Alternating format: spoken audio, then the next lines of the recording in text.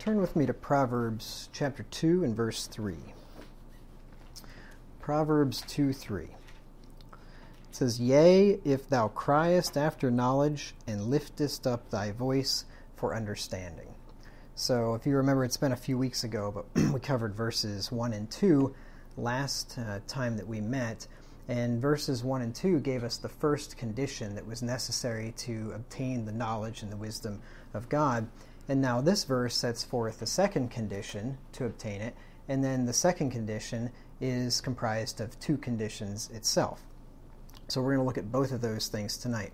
So the first one is, the first part of it, if thou criest after knowledge. So in Proverbs 2 1, we learn that you have to first receive the word, and then you have to hide it in your heart. So to receive it, you got to be willing, like with your hands out, basically, to take it. And then to hide it in your heart, then you have to keep it. So accept it, keep it. And then in verse 2, you have to incline your ear unto wisdom and apply your heart to understanding. So the first one was getting it and keeping it, and then this one is exerting effort. So inclining, leaning towards it, listening, wanting to hear it, wanting to, to know what is being taught, and applying that heart to knowledge. So putting in the legwork to understand. Now, the next step is crying after knowledge, and that's what we're looking at here in verse 3. Knowledge is the fact of knowing a thing, state, etc., or in general sense, a person, acquaintance, familiarity uh, gained by experience. So, Jesus Christ is the truth himself. So, the, the, the description of knowledge there, when it is to get to know a person, that, that applies here as well because Jesus Christ is called the wisdom of God, and he, of course, is a person. And the words that he inspired to write down are the wisdom of God and the knowledge of God. So this definition fits quite well. So there'd be many things that we could learn out there, many, many facets of knowledge, but we're not supposed to cry after those, like, for instance, science or literature or arts or politics or any of those things we could give ourselves to learn. And I, I, love learning all kinds of stuff, and I have multiple interests, and I could read books on various things all day long and, and be very happy. But yet, that's not what I'm supposed to give myself to. And there's nothing wrong with learning that kind of stuff, but that shouldn't be the thing that we're crying out to learn, right? We should be crying out to learn the knowledge of God. The Apostle Paul is a good example of this. He was a very educated man. They didn't have universities back then like we have today but basically, Paul would have had a prestigious university education, like a Harvard divinity degree or something like that. That would have been basically what he had back in those days. He studied at the feet of a man named Gamaliel. If you look in Acts 22 in verse 3, he, he explains to the Jews when he's giving his defense that he was one of them, that he was a Pharisee, and he's kind of giving his credentials so that they'll listen to what he has to say. And he tells them that he was trained under one of the greatest teachers of the law that Israel had. Acts 22 and verse 3. He says, I, for, he says, I verily am a man, I verily, I am verily, let me, let me start again. I am verily a man which am a Jew, born in Tarsus, a city in Cilicia, yet brought up in this city, that is in Jerusalem, at the feet of Gamaliel, and taught according to the perfect manner of the law of the fathers, and, and was zealous toward God, as ye all are this day. I don't know if you've listened to people, but I've listened to some um, PhDs. Like I listened to a podcast. He's from a PhD, and then he he has a PhD, and then he interviews other guys sometimes. And it, when he refers to somebody, he'll talk about what school they went to and what doctor that he trained under and got his PhD. Like he he got his degree under such and such a man, you know, doctor such and such. And this is basically what Paul's saying here. I got my credentials from Dr. Gamaliel, if, if there would have been, you know, such a term back then. And Gamaliel was a, a reputable teacher in Israel, and we see that in Acts chapter 5. Now, I'm, I'm building up to this for a reason. Acts chapter 5 and verse 34 says this is whenever the the the Pharisees and the the priests are trying to figure out what to do with Peter and the other apostles because they won't shut their mouths about Jesus. And in verse 34 it says then stood there up one in the council a Pharisee named Gamaliel a doctor of the law. Actually, I, I said that they didn't have doctors back then. They did have doctors back then, right? A doctor of the law had in reputation among all the people and commanded to put the apostles forth a little space. So here he is, had a reputation, and he's a doctor. So I guess I wasn't thinking about that. He actually was a PhD, basically. He had his doctorate in the law, you could say. So Paul's highly educated, he's a highly accomplished man. You look in Philippians 3 4 through 6. He again is bragging on himself a little bit, not for the sake of bragging, not because he was proud and arrogant, but because he's trying to make a point here to show these Jews that, look, I was just like you guys and, and better for that matter. He says in, in Philippians 3 4 through 6, Though I might also have confidence in the flesh, if any man thinketh that he hath whereof that he might trust in the flesh, I more. Circumcised the eighth day, that was part of the law of Moses, of the stock of Israel, of the tribe of Benjamin, and Hebrew of the Hebrews. Like he was he's cream of the crop. As touching the law, a Pharisee. Concerning zeal, persecuting the church. And this is how zealous I was. When the rest of you guys were just out there talking about how pesky these Christians are, I was out there hailing them off to prison, right? I was extremely zealous touching the righteousness which is in the law, blameless. Nobody could point to the law and, and show Paul condemned. He kept every little letter of it.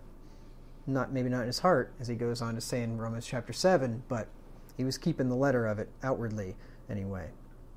So Paul had this great education, been brought up under Dr. Gamaliel, right, reputable scholar in Israel, and yet when Paul was converted, he counted all that stuff but loss and but dung that he could win Christ, that he could have the knowledge of Christ.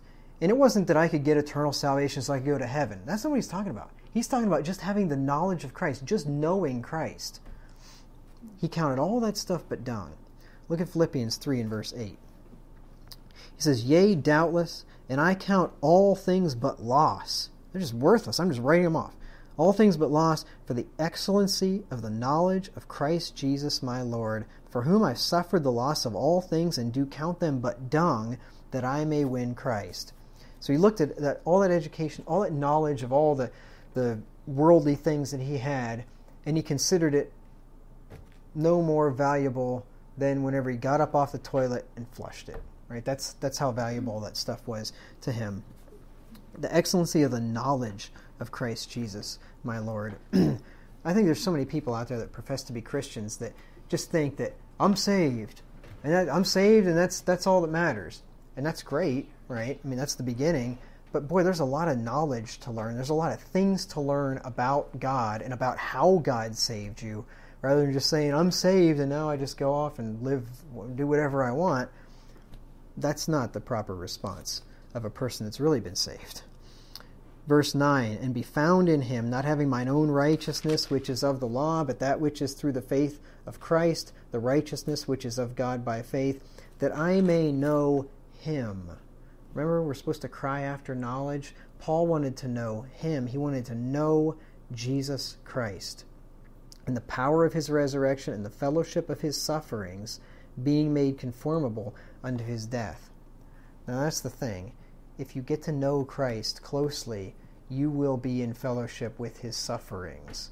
And you'll know because you'll you, you really can know somebody when you've walked in their shoes as they say well the closer you draw to christ the more suffering you're going to have in your life we'd think it'd be the opposite of that right the closer you draw to god the more god's going to protect you god's going to bless you in every way and everything's going to be wonderful but you know solomon said in much knowledge is much grief and he that increaseth knowledge increaseth sorrows in ecclesiastes in the, in the end of chapter 1 so Paul wanted to know him and the fellowship of his sufferings. And, and boy, did he. You read about Paul, beaten with rods thrice. You know, 39 stripes received I save one five times from the Jews. He was shipwrecked. He was naked. He was, he was, had perils of robbers and perils of his own countrymen and perils in the sea. All those things. He was in prison with Silas there, stripped down and beaten and so on. He really got to know Jesus Christ because he walked with Christ. So I would ask, are you willing, are every one of us willing to count all things but loss for the excellency of the knowledge of Christ Jesus our Lord? Is it worth it, like Paul, to say, you know what, I'd give up anything to know Jesus Christ clo- more closely, to understand him better, to know his word? Just think about that. I want you to think about that as we go through this. So Proverbs 2 3 tells us that we need to cry after knowledge, which that tells us that knowledge is not innate in man, or the knowledge of God anyway, is not innate in man, meaning that it's not already there. Right? We don't we're not born with the knowledge of God. We don't learn the knowledge of God just naturally as we go through our lives. That's something that has to be given to us, and it's something that has to be cried out for. It's also, this verse would imply, that it's not given to those who will exert little effort for it. Because if you have to cry out for it, that means that it's something that you really want and desire, and it's not something that you can just find laying around somewhere. You've got to really ask for it. To cry means to entreat, beg, beseech, implore with a loud and a moved or excited voice. Have you ever done that? Have you ever cried after knowledge, the knowledge of God? Just think about that. Now, I know that a lot of you, you, you grew up in the church, like Carissa, Austin, Wayne, you grew up a primitive Baptist. So you, you guys have, have you, you grew up knowing a lot of the things that we believe. And people like me and others that didn't grow up with this, we, I, I li- quite literally did cry out for knowledge. I was confused and I didn't understand, and I wanted to know the truth. I got to the point where I just, literally in the shower one night, I just I want to know the truth, Lord, no matter what. I don't care what it costs me, and it cost me so so dearly. And I'm not going to get into that, but it cost me dearly, and it has continued to cost me dearly as I've gone through this Christian life. But it doesn't matter. Even if you were if you were born into it, there's still so much to learn in this Bible. There's still so much of the gospel, so much of the doctrine to learn. And have you ever cried out to God for it? Entreated, begged, beseech, implore. Have you ever begged God and say, Lord, I just want to know more. I want to go beyond what I know now, and I want to learn thy word. I want to learn about thee. I want to know more. Have you ever done that? And if you haven't done that, I'm encouraging you tonight to do that. You got to be serious about it if you're going to do that. So, based on the definition, if a man desires the knowledge and wisdom of God, he has to ask for it, right? That, that's simple enough, right? But just simply asking is not going to suffice. Because if his request is to be granted per this formula in Roman or in Proverbs chapter 2, he has to beg, beseech, implore the Lord, not in a lukewarm, lackadaisical tone, but in a loud and impassioned voice, right? That you really have to want it and really ask for it fervently. We're told in Hebrews chapter 11 and verse 6 that the Lord is a rewarder of them that not, that's right, not to just seek him, but diligently seek him. That's exactly right. Uh, Hebrews 11 and verse 6. But without faith, it is impossible to please him, for he that cometh to God must believe that he is, and that he is a rewarder of them that diligently seek him. So you have to diligently seek him, and you also have to believe that he will reward that diligent seeking, and he'll give you what you're seeking and what you've asked for. Because sometimes I think we ask for things from God, and we don't really believe that he'll even do it. We might believe that he can do it, right? But we might not believe that he actually will do it. And he's not always going to give you what you want. You have to pray according to his will and, and so on, you know. So there are there are qualifications for prayers to be answered, but one of them is believe that he, at least he's able to do it and believe that he will do it if it's his will to do so. That's it that's is his will that we learn about him. Absolutely. Absolutely. That's one of the number one things that is his will. Exactly. So you can pray that prayer truly believing that he will give it to you. Right? You could pray for, for many things and he might give it to you or might not because he hasn't specifically stated that that's his will to do so. But yeah, you're right, Bev. In this case, that is his will, and he will give it to you if you really want it. Remember what Jesus said in Matthew 7 7 Ask and it shall be given, right? But if we compare the scriptures, we have to see here that you don't only just ask, but you have to ask with importunity. Let's look at Luke 11, 5 through 9. This is a parallel text with Matthew 7, 7. Ask and it shall be given, seek and ye shall find, knock and it shall be open unto you. That's Matthew 7, 7. But let's look over in Luke. And we're going to see here that it's it's more than just saying, "Hey Lord, I'd like to know more." Just that, you know, and then just hoping that somehow, some way, I I I know it, I learn it. It's it's not just that. It's you really got to ask for it with importunity. You got to you got to be tenacious with the Lord. Luke 11, 5 through 9. And he said unto them, Which of you shall have a friend, and shall go unto him at midnight, and say unto him, Friend, lend me three loaves? For a friend of mine is uh, in his journey is come to me, and I have nothing to set before him. And he from within shall answer and say, Trouble me not, the door is now shut, and my children are in bed, my children are with me in bed, I cannot rise and give thee. You can't blame the guy. If somebody came beating on my door at midnight, I'm not going to answer the door either. Right? Give me a loaf of bread. I'm like, go down to Walmart. Right? Ask me for a loaf of bread. Well, in those days, you know, there was no Walmart. So you got somebody shows up in the middle of the night, you got to have something to feed him. That was that was the, the proper thing to do in those days. So you go knocking on a friend's door. I say unto you, though he will not rise and give him because he is his friend. See, friends, uh, friendship ain't going to cut it. You know what? I'm not getting out of bed at midnight, even if you're on my friend. Yet because of his importunity, he will rise and give him as many as he needeth. Importunity is troublesome pertinacity in solicitation. He's just going to keep hammering on that door and say, Look, I need some bread. Go away. I'm in, I'm in bed. I don't want to get up. Boom, boom, boom. I need some bread, and I'm not going to quit banging on this door until you give me some bread. That's what you have to do with the Lord. And this is where it gets tied in. Verse 9 And I say unto you, Ask, and it shall be given you. Seek, and ye shall find. Knock, and it shall be opened unto you. For every one that asketh receiveth, and he that seeketh findeth, and to him that knocketh it shall be opened. You see, now if you just had the Matthew passage there, you wouldn't have got that little story in the you know before the ask and it shall be given passage, and you wouldn't have understood what type of asking God is talking about here. That's why it's important to compare Scripture with Scripture.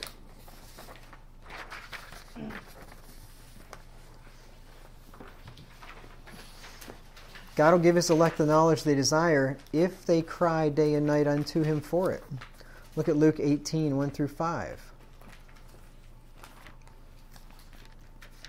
It didn't all come to me at once when I was first converted to the doctrine of grace.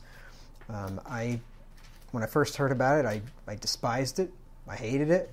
I set out to disprove it, and I'd argue with people about it. And eventually, when I, I think when I just got to the point where I was thoroughly confused and I just couldn't figure it out, that's when I cried out to the Lord. I just want to know the truth and I don't care what it costs. And then that, shortly after that, that's when things started to open up. That's when my heart, my mind started to open up. That's when I started to understand. And I'll get to this a little bit later. That is a common story among people of our faith.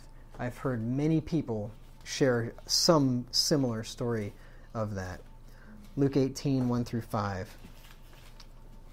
It says, And he spake a parable unto them to this end that men ought always to pray and not to faint saying, There was in a city a judge which feared not God, neither regarded man. It pretty much sounds like most of our judges, huh?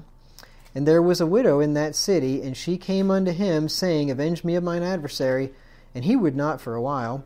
But afterward he said within himself, Though I fear not God, nor regard man, at least he was honest. You know, mo- most of them would pretend at least to fear God, right? All our presidents say God bless America, and they half of them probably don't even believe in him. But uh, yet, because of Yet because this widow troubleth me, I will avenge her, lest by her continual coming she weary me. So he's just, he's a pragmatist, basically. He's like, you know what, I'm just going to give her whatever she wants. I'm just sick and tired of hearing her coming to me about this. And the Lord said, Hear what the unjust judge saith. Pay attention to this guy.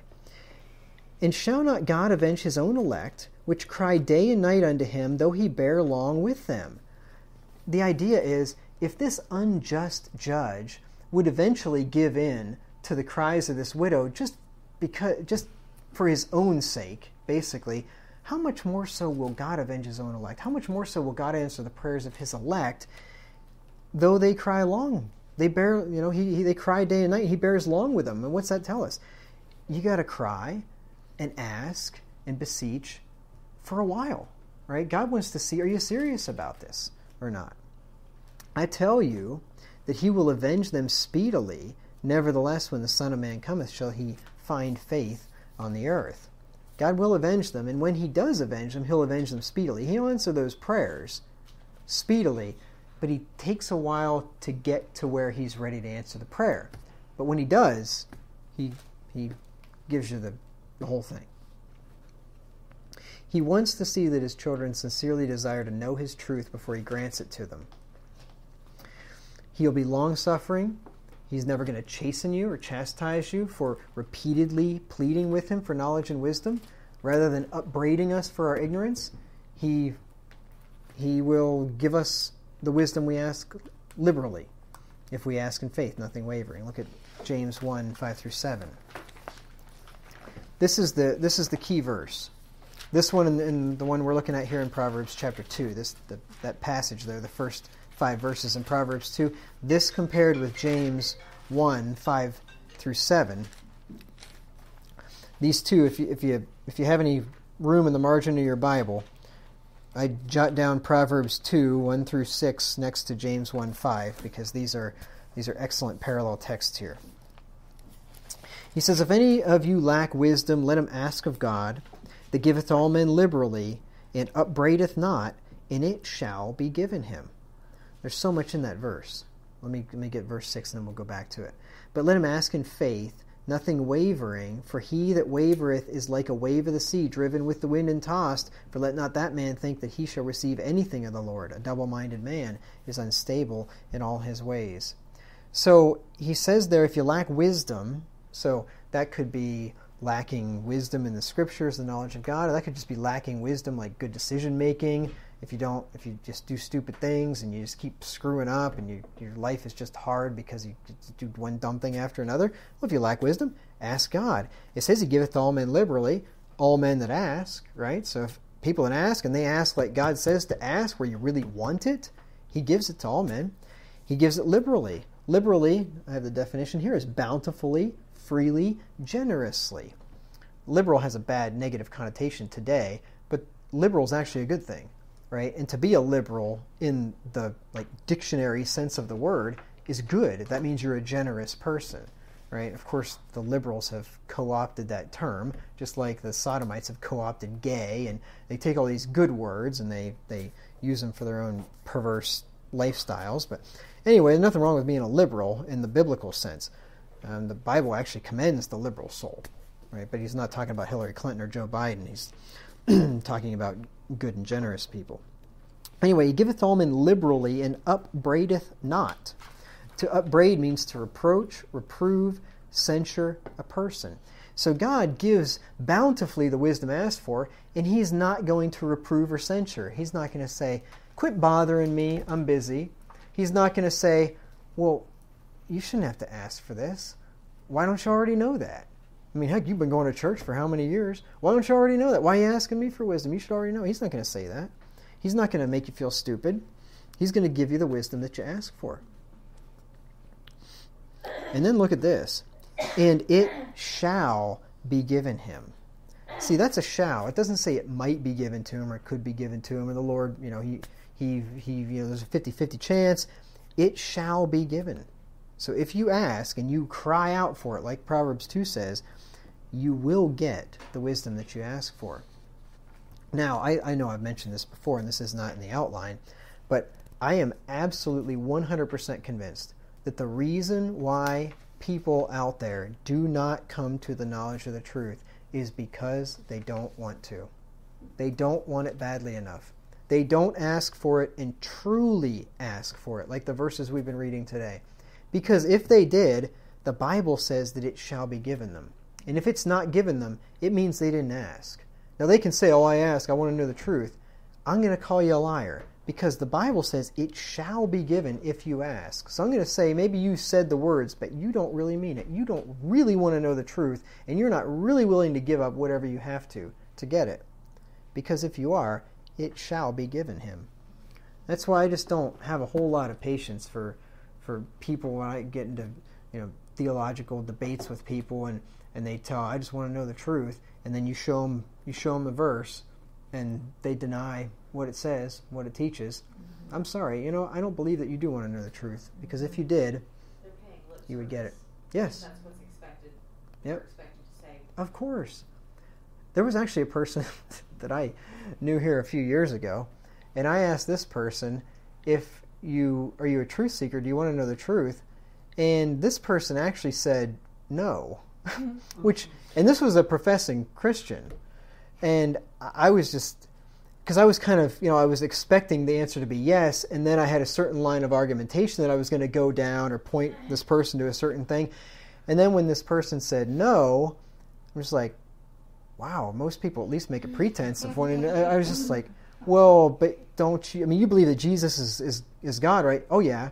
Well, you'd want to defend that, right? Well, yeah. And then I'm like, well, so you do want to know the truth somewhat? Well, yeah, I guess so. so I like had to convince this person that, that she actually did uh, want to know the truth. So that was odd. I, most people will tell, oh, yeah, yeah, I want to know the truth, of course. Then the second part of Proverbs 2 3. And liftest up thy voice for understanding. So this is kind of like crying, lifting up the voice, only this time instead of for knowledge, it's for understanding. Understanding is the faculty of the intellect, the power or ability to understand a thing. So to have the knowledge of God without the power to apprehend the meaning of it wouldn't be of very much value. So you can have knowledge of things, just have facts in your head. And you can know a whole bunch of facts. But if you don't have the power to connect those facts in and to understand a whatever the, the thing is you're trying to understand, then it doesn't doesn't really help you out much right? I mean, just think about it. If you had a sentence and you just mixed up all the words in the sentence, and maybe you had the knowledge of the definition of each word in the sentence, but if the words aren't in the right order, that sentence isn't going to make any sense. Even though you technically know all the definitions, it's the same way with the Bible. Somebody, a reprobate, can take the Bible and he can he, has got a dictionary like I've had, right? He can he can look up the definition in a dictionary, he can define the terms, but it just doesn't he didn't get it right? It just doesn't make sense to him, right? He doesn't have the understanding. Now, God's children are start out without the understanding, and that's why we need to ask for the understanding so that we can put it together and make it make sense. So just like the knowledge has to be cried for, understanding has to you have to lift up your voice for it as well. And there have been many young men out out there. and I say many, I mean many relatively speaking, not, not very many really, but there have been some out there that have received the understanding that they earnestly desire for after they lift up their voice in prayer to God for Him, begging for it no matter the cost. And I've done this myself. I just told you that. Um, when I was when we were at the um, the anniversary, the 20 year anniversary of the Cincinnati church, one thing that I that I that really stuck out to me, and I'd heard most of the stories before already, but the people were giving the stories of their conversions, and and one thing that stuck out that several people mentioned is that they got to the point where they just begged God for understanding. They just wanted to know what the truth is. And that's the reason that the Columbus Church was started in 1999 because those people wanted to know what the truth was. And they begged God for understanding and he gave it to them. Right? They are living examples. And and this is true of other lots of other churches. I mean this is true of of lots of people, right? That they got the understanding they asked for because they earnestly desired it. So I would ask you, are you satisfied with your knowledge of God, of Jesus Christ, and of the Bible? Are you satisfied with it? And say, are you happy with it? Because you should be happy with it. But are you satisfied with it? Are you like, ah, I'm good. I mean, I think I know enough.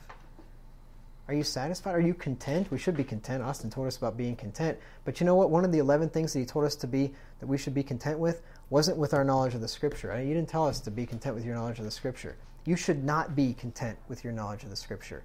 You should be lusting after the knowledge of the Scripture. increasing in knowledge of the Scripture, you're going backwards. That's right. You can't stay stationary in your knowledge of the scripture and your Christian values. You're either getting stronger or weaker.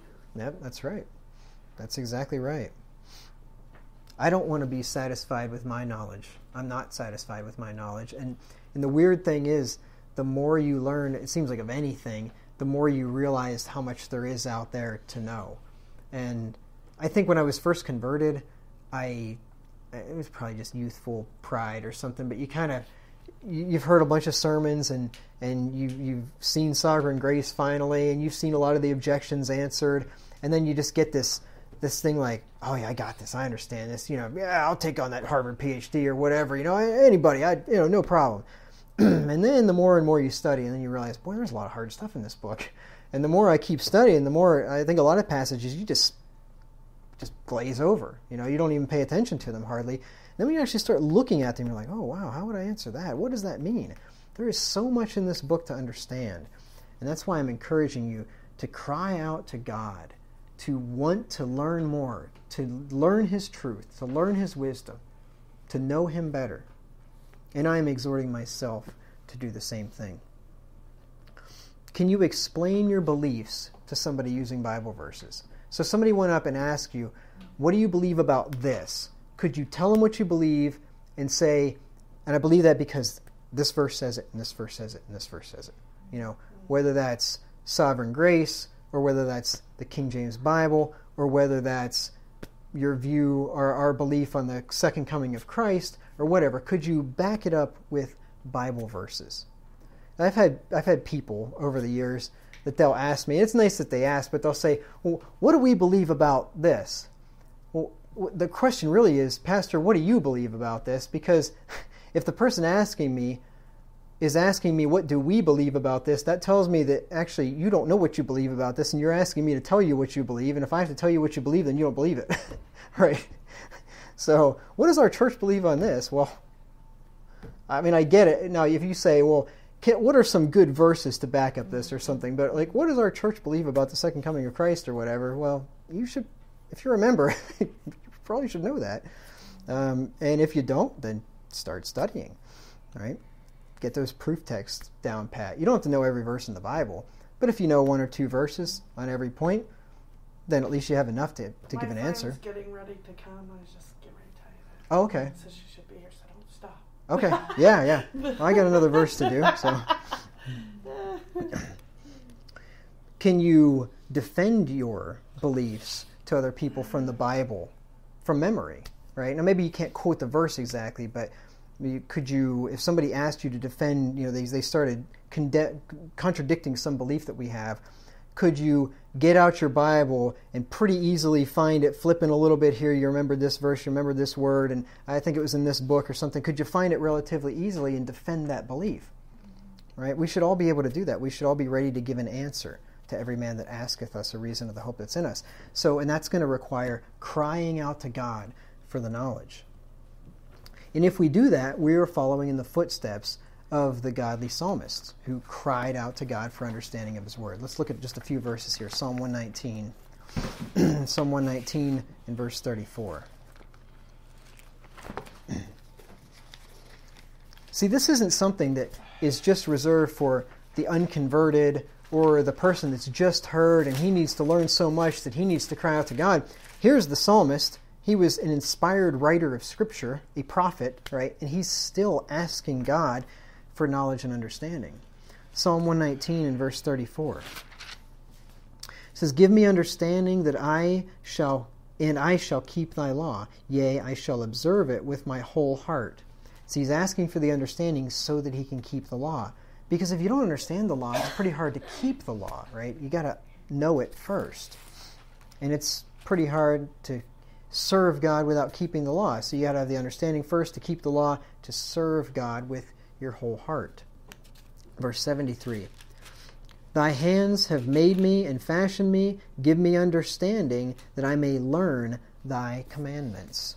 You see, we have to ask for the understanding first in order to learn the commandments. 125. 125. I am thy servant, give me understanding that I may know thy testimonies. Once again, got to have the understanding first. And then Psalm 1, 119, 169. Let my cry come near before thee, O Lord. Give me understanding according to thy word. So we got to ask for the understanding, and we got to cry out for it like the psalmist did. And when we do so, it shall be given.